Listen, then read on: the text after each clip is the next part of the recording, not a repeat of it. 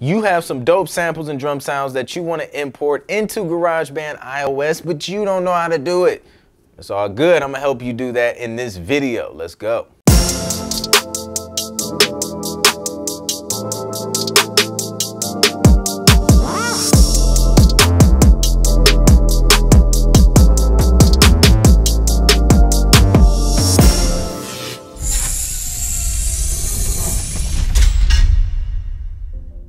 What's up people? Welcome to the channel where we talk about music licensing, music production, and music business. If you love any of the previously mentioned, be sure to subscribe so you can stay up to date on all my latest content.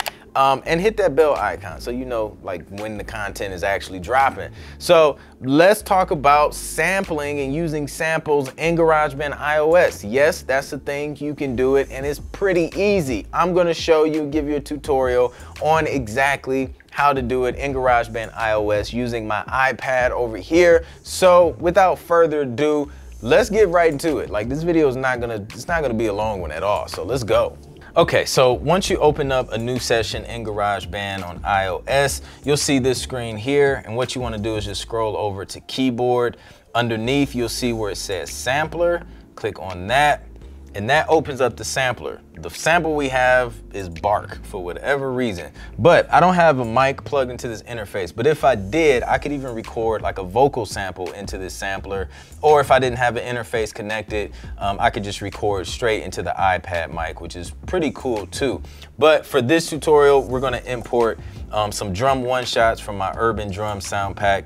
Um, and yeah, cause I like I like my drums better. So we're gonna click on where it says Bark. This is where you open up the sample library and we wanna hit import. So uh, once we get to import, I'm gonna go browse items from the files app. This is where my drums are. Depending on wherever you save your files, this is you know how you'll just go through that browser and find them. Um, and let's import some sounds. So I'm gonna, let's see, let's use this kick three and then it'll take a couple seconds and then you'll see it load here. There it is. And then you can click it to kind of preview it, see what it sounds like. Um, so I'm gonna, let's bring in a snare.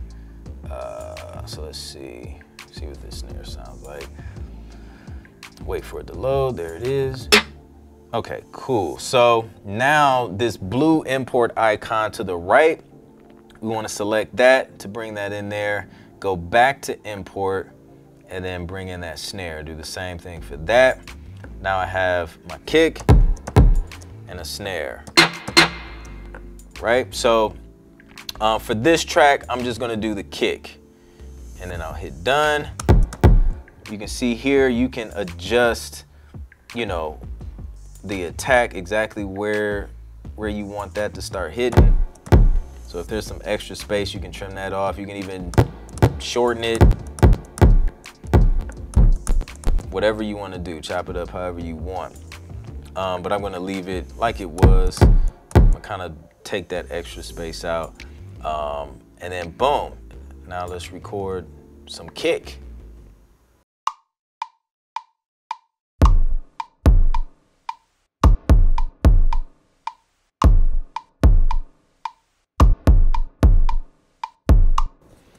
Right? I'll do a little quantize to make sure we on beat. All right.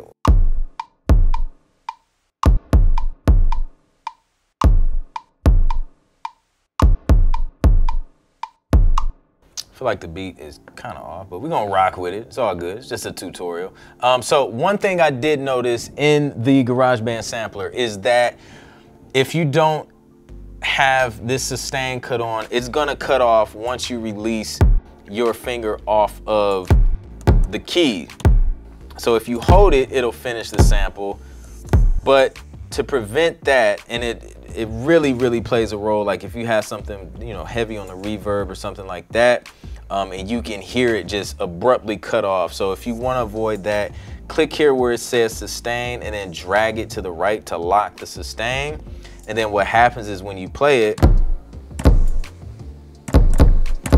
it'll just finish ringing out on its own. So let's try and record that over.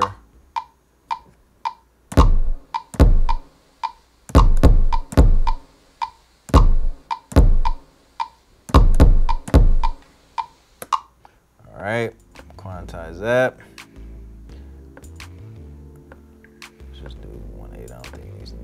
16. Okay, cool. So now I'm gonna duplicate this track um, because it already has a sampler in it. Now all I have to do is change this kick to the snare that I wanna use and hit done.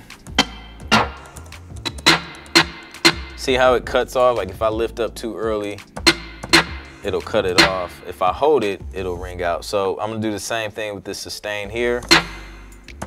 So I don't really have to worry about it. Let's drag this up a little bit. Okay, cool. And then we'll record the snare.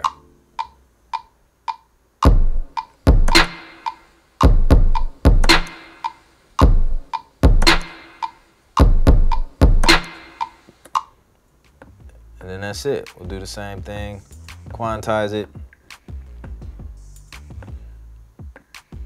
Boom, then you got your snare. So um, so that's that's pretty cool. Um, another cool thing about you know just this being a sampler is that you can pick what pitch you want your kick or your snare to be, and it's just automatically routed through the keys.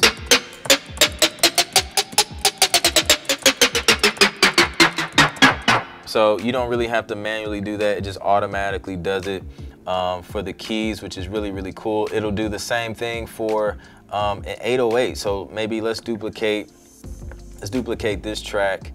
Um, I think you can use the Logic. Yeah, if you want to duplicate, you can use Command D to quickly duplicate something. Um, so let's import, let's see if we can import like an 808. Um, I think I had one. Okay, so I had a, a one from 808 Warfare. Um, so let's just import that. And